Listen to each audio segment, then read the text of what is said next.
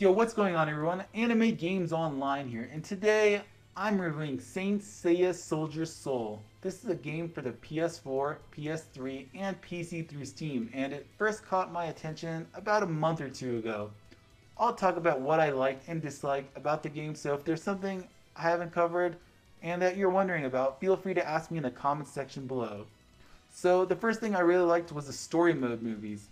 I've only watched the first three episodes of the anime and decided I wanted to see how it felt to experience the story through a game to see if it was easy to understand for someone who isn't a fan. And the answer is yeah, I did. I think developer Dimps did a fantastic job telling the Saint Seiya story. I'm not sure how closely it matches the anime, but I felt like it was enough for me to understand what Saint Seiya is all about. It's an interesting story. There are four chapters um, the Sanctuary, Asgard, Poseidon, and Hades chapter. It took me about two hours of actual gameplay to beat each arc. Saint Seiya Soldiers Soul is a fighting game, so basically what would happen is a story cutscene movie would play, and then there would be a battle, and the cycle would repeat. The scenes were to tell the story, and the gameplay aspects were to fill the fighting parts. So the fighting part is what took about two hours for each chapter, and the movie part was about one to one and a half hours for each chapter. So in total, it'll probably take you about 8 hours to finish the story mode if you skipped all the movie parts, and 12 to 13 hours if you watch them all. That playtime will actually be extended if you play the separate mode focusing on the gold Saint characters called Battle of Gold. It's like an extension of story mode that has its own set of movie cutscenes. I skipped all of those movie cutscenes, so I'm not sure how long they are, but I completed the main part of the mode in about 2 hours. The second thing I liked were the Big Bang attacks. These are gorgeous cinematic ultimate special moves that deal a heck lot of damage to the enemy. They are hard to pull off, but it kind of makes them more satisfying when they do successfully hit.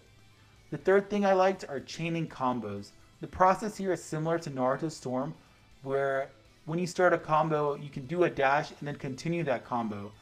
There is a limit to how many times combos can be chained, since the dashing mechanism uses up energy called Cosmos, which is equivalent to Chakra in Naruto Storm. But when you have the Cosmos to do it, then it's pure fun to do so.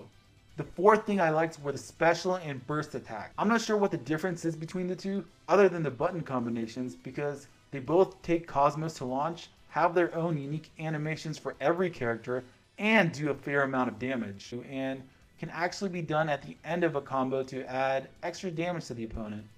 Each of the 72 playable characters have two special attacks and two burst attacks.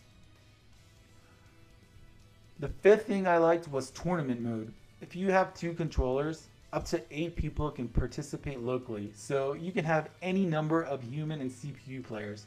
For example, one human player and 7 CPU, or up to 8 friends can play on the same PS4 in tournament mode on the PS4 at least, there is a commentator and his voice comes through the PS4 controller speakers, which adds some excitement to the battles.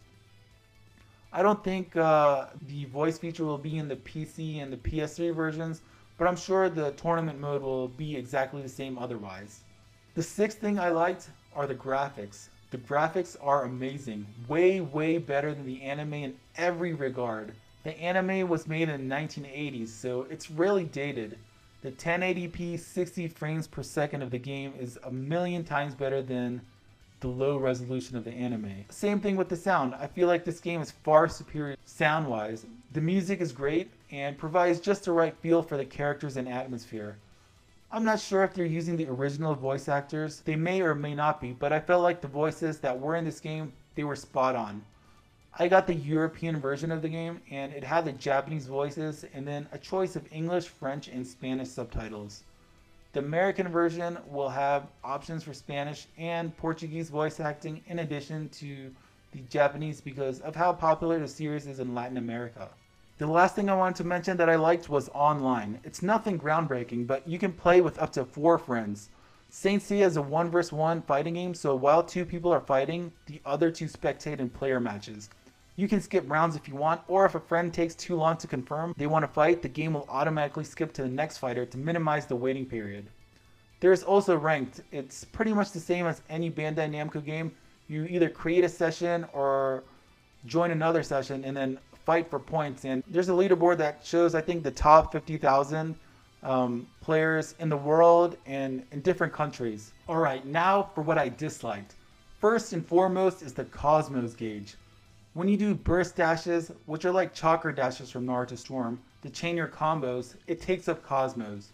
Special attacks take up Cosmos, so do burst attacks. If you land combos on the opponent or receive damage, your Cosmo will slowly increase.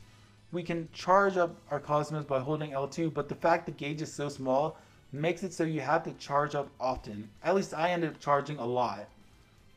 The second thing I disliked is a result of the small Cosmos bar. It's a maneuver called the light speed move, which is a dodge mechanism you can use when somebody's about to land an attack on you.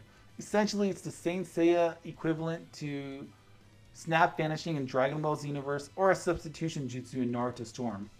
Both of those games had their own dedicated gauge and they would refill on their own relatively quickly so you could use them even after they were exhausted. In Saint Seiya, you can only use the lightspeed maneuver three, four, maybe five times max in an actual fight, realistically speaking. Because not only is it limited by your Cosmos, but each time you use the lightspeed move, it requires twice the amount of Cosmos as the time before it. Since the Cosmos bar is already small, or at least I feel that way, you're pretty much screwed if you accidentally burn one.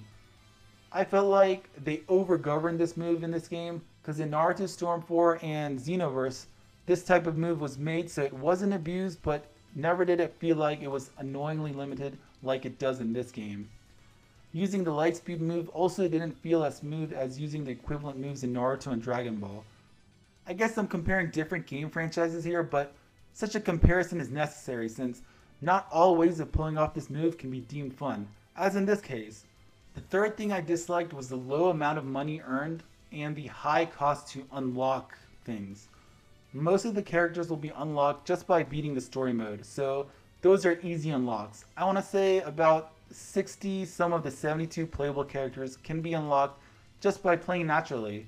But for the rest of the characters and the dozens of costumes that need to be purchased in order to be unlocked, those take about 1 million points just to unlock them. For the fights I finished perfectly, I earned no more than 2,900 points. Most fights I didn't win perfectly, and in those I got around a thousand points. To put it in perspective, at 1,000 points per victory, I'd have to win 1,000 fights. Even if I won perfectly, that's still a few hundred. And that's just for the characters. We have to unlock about 38 of the 40 stages. And then there's a whole bunch of other things to unlock that aren't as essential, but they might add to the fun factor of the game. Like, uh, for example, this thing called assist phrases, which are basically uh, quotes for characters from the game that pretty much boost attributes. Like, they give you more HP or they raise your attack power. And just so you know, online, assist phrases are optional. You can either use a custom battle where those assist phrases are equipped, or you can play a normal battle where where you can play with the characters in their uh, base state. So overall, based on my experience and all the things that I like and dislike, for my review, I give Saint Seiya Soldiers Soul a 7 out of 10.